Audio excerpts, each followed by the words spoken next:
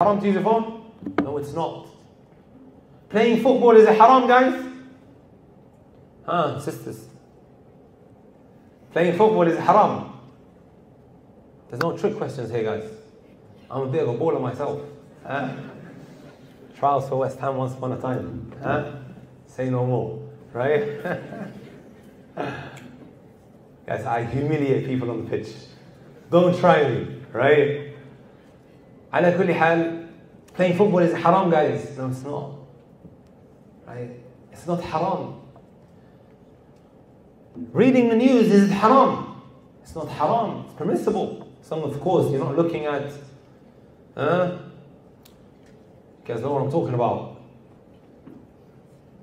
there are things that are perfectly permissible however here Ibn al-Jawzi is saying إذا غرق القلب في المباح if now your heart begins to drown in that which is permissible right your heart will begin to darken and then he says فكيف بالحرام if that's the case then how about if someone is doing haram if all of this is going to happen because you're playing football so much or you're on your phone too much or you're reading the newspaper too much.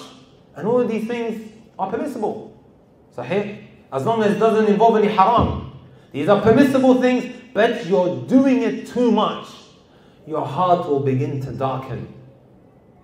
He says, فَكَيْفَ بِالْحَرَامِ Then how about when you're now involved in haram? Right? My beloved brothers and sisters, that takes me on to a very, very important point. Right?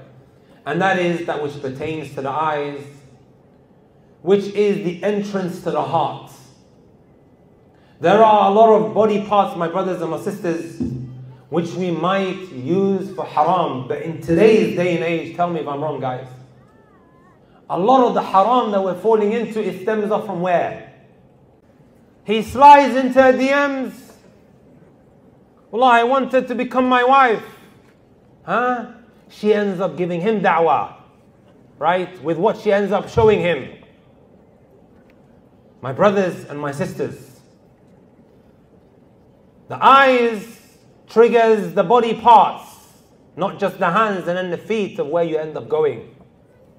With what you end up listening to. It all stems off, my brothers and my sisters, from the eyes. Ibn al-Jawzi rahmatullahi alayhi, my brothers and my sisters, stems from the eyes. Right? And then because of what you look at, it triggers another body part, sahih? Because of the eyes and what you look at, or what you lay your eyes on, it triggers another body part, whether it may be the hand, right, which you use. I think that was the jinn. Um, Sheikh, first it was music, and now it's this. I'm joking, Sheikh, I'm playing around.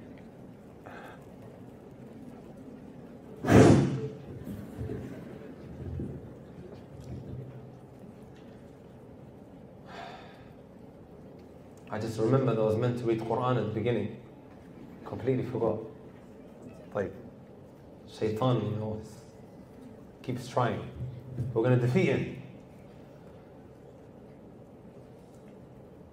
What was I guys? Huh? Now, the eyes. The eyes, which is what? The entrance to the heart. Right?